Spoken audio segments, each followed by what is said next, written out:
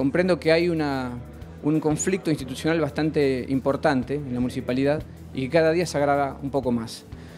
Y el problema que está cometiendo, el error que está cometiendo Elizalde desde mi punto de vista, es que Elizalde como un gobierno de transición que es, no se está respaldando en el Consejo Deliberante.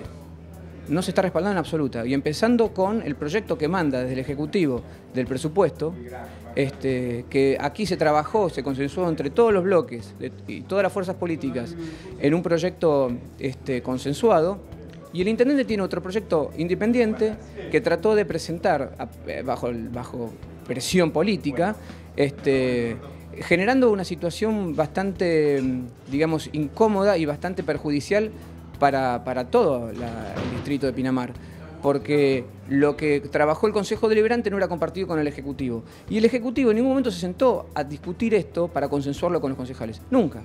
Este, cuando nosotros modificamos el presupuesto, vuelve al Ejecutivo y el Ejecutivo, me lo han dicho a mí, en mi cara, los propios funcionarios, diciendo de vuelta el viejo discurso altierista de que le estamos desfinanciando el, municipio, etcétera, etcétera. Cosa que no es cierta, porque el municipio sigue sin cobrar donde tiene que cobrar y la única forma que tiene de recaudar es del bolsillo del contribuyente. Pero el tema de publicidad, de espacio público, propaganda, habilitaciones, espacios de playa, todo eso no cobra, o cobra nada. Es más, le dimos el aumento del módulo y no lo hizo vigente el aumento del módulo con la publicidad en Pinamar. Pero recaudaron 14 millones en este último mes. Bueno, eso es lo que dice la municipalidad, algunos funcionarios. No se hizo efectivo. Yo fui a ver el, digamos, el saldo oficial en la municipalidad y son 4 millones.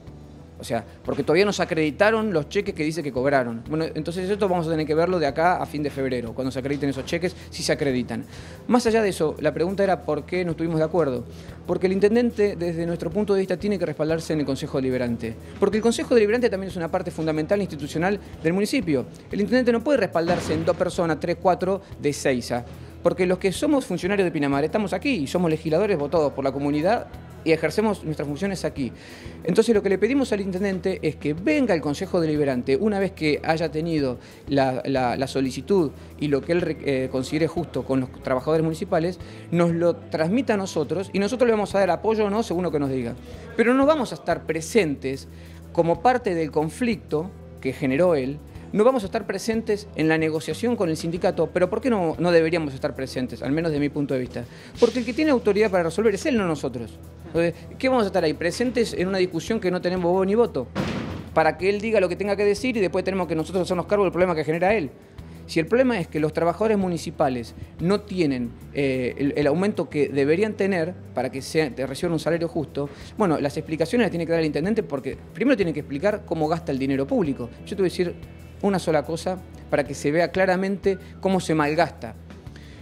Eh, Pedro Elizalde en el mes de noviembre hizo una compra directa de autos para seguridad en Pinamar, de la Guardia Urbana, por 2 millones de pesos. 1.900.000 y pico de mil pesos, casi 2 millones de pesos, en compra directa.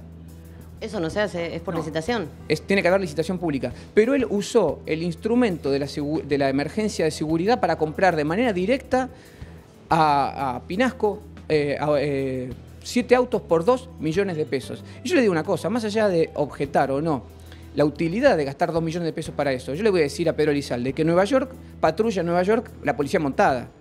¿eh? En Mónaco patrullan en bicicleta. Acá tienen que andar en, en camioneta Ranger 4x4 que sale casi medio millón de pesos cada una. Bueno, una locura. Ahora, él sí tiene plata para hacer un, pago excepcional de siete camionetas para la Guardia Urbana. Pero no tiene plata después que no dice no tiene plata para el hospital o para el salario de los trabajadores. O sea, la plata la tiene. El problema es cómo la quiere gastar él. Y el problema es que no quiere recaudar de donde tiene que recaudar. Entonces, si hasta, hasta que Pedro Elizalde esto no lo entienda, el problema lo genera él, no nosotros.